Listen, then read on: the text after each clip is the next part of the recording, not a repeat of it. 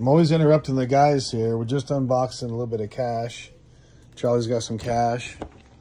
Looks like James, he's got a big stack over there. How much you got there, James? I lost count. He lost count. That's why we're doing it in stacks of 10, right? Yep. Yep. So if you need a big fat stack of cash to be really impressive for a party or a movie or whatever you're doing, we got your cash. This is a little bit cheaper than the regular prop money. This will be on the site in about five minutes.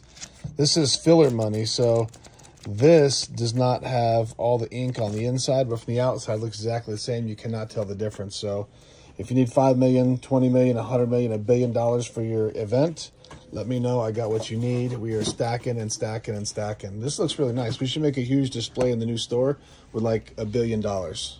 There you go. Make sure you come check us out, GorillaProCustoms.com. We got your money for you. And don't try to pass this on as real cash, bro. That's just dumb. That'll get you put in, well, cops don't really care, but don't do it.